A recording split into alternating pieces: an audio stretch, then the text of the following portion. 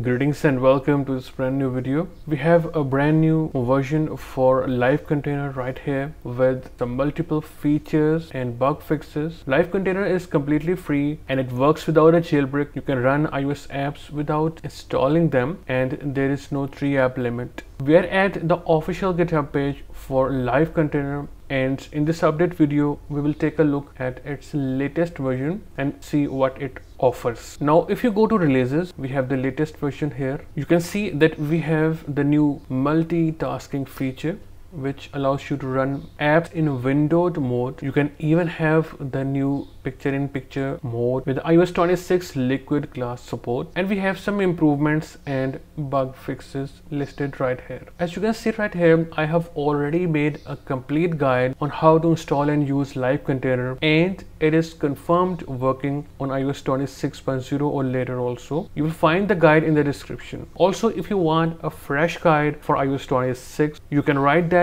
in the comments and I will do it for you. Now let's see how we can use the new multitasking feature of live container as you can see I am indeed on iOS 26 and I have already installed SideStore. If you don't know how to install SideStore, you can install it by following the guide from the description. Again, if you want a fresh guide for iOS 26, let me know in the comments. First of all, we will open Safari and head to the same official GitHub page for Live Container. Scroll down to releases and from there get the latest IPA for live container. As you can see, I already got the live container IPA. Open SideStore, hit the plus icon, then select the live container IPA. You will see this dialog. Make sure you hit keep app extensions.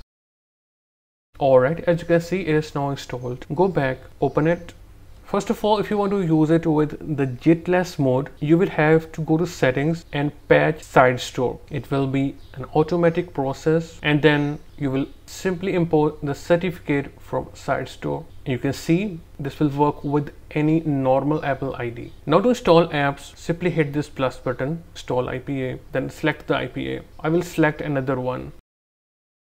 Alright. Now you can simply hit the run button to run them but if you want to multitask simply press and hold then go to settings then hit convert to shared app then hit move. I will do the same with the second app. Go to settings convert to shared app. Now to multitask you can simply press and hold and then hit multitask.